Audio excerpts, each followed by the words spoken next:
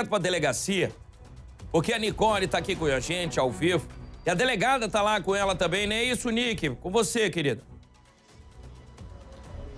Isso mesmo, Fred. Eu estou aqui com a doutora Adriana Romana, ela que está acompanhando aí desde o início, no sábado, por volta de 4 horas da tarde, quando a Isabel foi morta, né, doutora? Eles não pararam de trabalhar, procurando então, tentando prender o Paulo Roberto, o Paulo Roberto, só que ele compareceu na delegacia ontem. Chegou com dois advogados e a delegada vai explicar pra gente, né, como é que foi essa, essa prisão e esse trabalho desde sábado, quando aconteceu esse feminicídio. E claro, né, doutora, é, comecei o nosso balanço hoje bastante preocupado preocupada, a gente falando dos feminicídios do, do ano de 2023, a gente está no início do ano, foram cinco e a senhora me falou que quatro deles aqui em Ceilândia, né? Sim, infelizmente nós tivemos, né, os, esses quatro casos aqui em Ceilândia.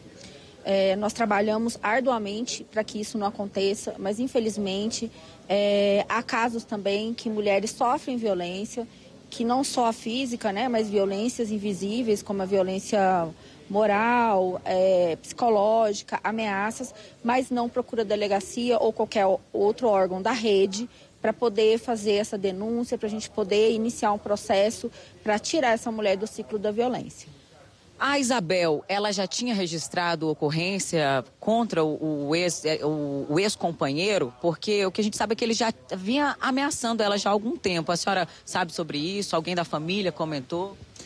Bem, eles não tinham nenhum registro de ocorrência, né? Num primeiro momento, é, nas investigações, a gente priorizou essa situação factual, né? Para comprovar o fato e verificar onde ele estava, quem estava com ele. Então, várias testemunhas foram ouvidas nesse sentido. Agora, nós vamos partir para o segundo momento da investigação, que vai verificar que nós vamos querer é, levantar né, o passado desse ex-casal e, e, como que eles viviam, né? Porque eles é, estavam juntos há 15 anos, tinham uma filha de 10 anos. E também esse processo de separação, que segundo ele já estava ocorrendo há dois anos e que inclusive ele havia saído de casa há cinco meses. Então, todas essas informações vão ser checadas com outras testemunhas que acompanhavam a vivência deles. É, aqui, doutora, ele se mostrou arrependido, porque a gente viu uh, alguns, né, alguns relatos que ele inclusive comentou no grupo de familiares, de amigos, ele mesmo mandou, né, uma mensagem dizendo que tinha matado o amor da vida dele, que ela tinha o provocado e que ele perdeu o controle, enfim. Qual que foi a, como que ele tentou, né, justificar, qual foi a justificativa, o que que ele falou aqui nessa conversa na delegacia? Bom, é, a gente teve é, acesso a esse áudio, né? Porque ele tinha enviado essa, essa mensagem para um grupo de amigos, inclusive para pessoas que passaram a noite com ele, ficaram com ele até momentos antes do crime. É, e aqui na delegacia, durante o seu interrogatório formal, ele informou que a, o disparo teria sido acidental. Então ele trouxe uma outra versão para a mesma, mesma circunstância. Essa pistola 9mm que ele usou para matar a Isabel, ela era uma arma legal? Ele tinha o registro dessa arma? Ele era CAC? Ele tinha um registro da arma e ele tinha a posse legal da arma de fogo. E o que, que significa isso? Ele poderia ter essa arma na sua residência ou no local cadastrado específico para essa arma estar. O Fred Linhares, ele tem uma pergunta para fazer para a senhora. Pode falar, Fred. Primeiro, dar uma boa tarde para a doutora. Não sei se ela está com ponto, se não, Nick, transmite para mim, por favor, eu vi que ontem a comoção foi muito grande em Ceilândia, quando ele chegou aí para prestar o depoimento dele com dois advogados, com essa ladainha de que o disparo foi acidental, inclusive.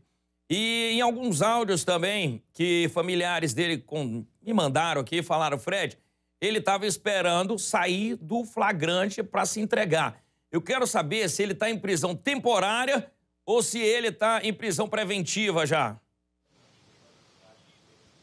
Tá certo. Doutora, o Fred está perguntando o seguinte, né? Ontem teve uma grande repercussão, o pessoal veio aqui indignado. Se existe a chance, né, de passar desse tempo, dele sair desse flagrante, como que foi a prisão uh, do, do Roberto, né? É, Paulo Roberto, e o que, que pode acontecer com ele agora? Na verdade, não foi uma prisão em flagrante. Ele estava, é, ocorreu o fato, nós prosseguimos em diligência na tentativa de prendê-lo em flagrante. Ao mesmo tempo, foi representado pela prisão preventiva dele, que foi rapidamente deferida pelo Poder Judiciário. Então, a condição dele é de prisão preventiva, é uma prisão cautelar que já não é uma prisão em flagrante, porque o flagrante ele pode ser convertido em preventiva ou não. Nesse caso, a prisão preventiva dele já está decretada e ele vai ficar à disposição da justiça. E ele passa por uma audiência de custódia ainda hoje, né? Sim, ele passa pela audiência de custódia é, para analisar os aspectos da prisão, não o fato em si. Tá certo. Mais alguma pergunta, Fred? Sim, Nick, olha só. Ele chegou falando que foi um tiro acidental. Mas eu queria saber da história que ele contou para a delegada. Como é que foi essa festa? Como é que ele saiu dessa festa? Se ele voltou para casa e depois foi até a casa dela? Como é que foi essa situação? E outra coisa, se a arma do crime já foi achada? Doutor, é o seguinte, o Fred quer saber como é que foi toda essa situação. Qual foi a versão que ele contou aqui? Ele saiu, ele estava numa festa, depois ele voltou para casa, foi quando teve essa discussão. E outra pergunta, né, além dos detalhes do depoimento dele, a outra pergunta que o Fred fez é se a arma, a pistola, foi encontrada. Sim. É, ele estava, ele passou a noite toda numa festa, num bar aqui em Ceilândia. E depois que terminou essa festa, ele foi para outro bar e lá ele permaneceu até momentos antes do crime, que foi por volta de 15, 16 horas. É... A arma estava na residência do ex-casal. Ele não morava lá. Ele afirmou que estava morando na residência da, da sua mãe. Então ele esteve lá no local somente para conversar com ela sobre a questão do bloqueio das, da conta bancária, que ele não estava conseguindo mais ter acesso e que ele queria o seu dinheiro de volta. E nesse nessa situação foi quando ocorreu esse disparo. Então, ele alegou que o disparo foi acidental, mas temos o, o áudio é, que foi é, enviado momentos antes do, é, após o crime, dizendo que não, que, que havia sido feito, que ele havia feito uma besteira, que teria matado o amor da sua vida, enfim. Isso indica de que ele efetuou o disparo e não um, uma situação que seja de um, um acidente, né? E dali ele foi para a residência da sua mãe, levando a arma de fogo, onde ele deixou a arma em, no, no, quarto dele e saiu em seguida. É isso, Fred. Uh, mais alguma pergunta? Cara, só mais uma. É, nós recebemos a informação de que a filha do casal estaria na casa. Que a filha do casal, de 10 anos de idade, teria visto, inclusive. Ela foi mesmo testemunho ocular do pai matando a mãe?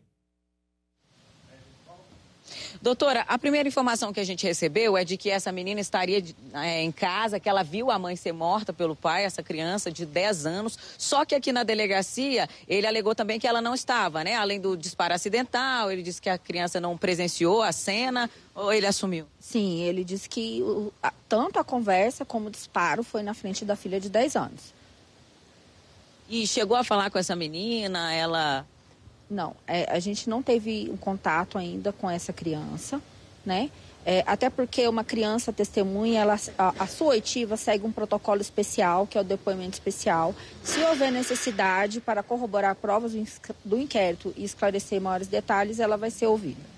Tá certo, obrigada. Complicado, né, Fred? Uma menina tão pequena, de 10 anos, mais uma, que vê a mãe sendo morta, né? Imagina só os traumas, imagina só o sofrimento dessa criança agora, dando o último adeus à mãe depois de ter é, presenciado essa cena terrível, a mãe morta, o pai preso, essa criança aí com traumas pelo resto da vida. Tudo, né, doutora? Por algo poderia ter sido evitado se essa mulher tivesse procurado antes da delegacia, na primeira agressão, na primeira agressão verbal, na primeira agressão física, tivesse procurado a delegacia, né? Porque o que a doutora me falou é que não tinha registro de ocorrência contra ele, viu, Fred? Sim, o que acontece? Muitas mulheres vivenciam um relacionamento abusivo, uma situação de violência e às vezes por não ser algo é, factível, né, não ser é, uma lesão aparente, é, elas não conseguem se enxergar num contexto de violência. E muitas vezes perdoa também é, essas situações em nome de vários é, fatores, né? Uhum. Familiares, tem filhos, enfim.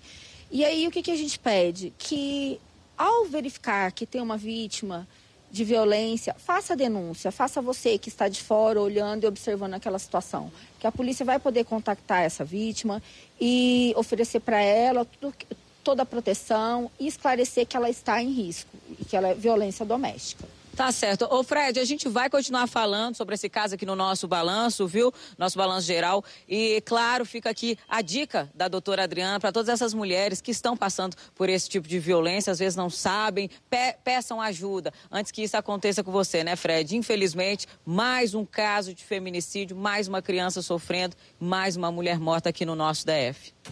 Niki, muito obrigado. Doutora Adriana, muito obrigado. Elas estão direto lá da DEAM, Delegacia de Atendimento à Mulher. Obrigado mesmo a vocês duas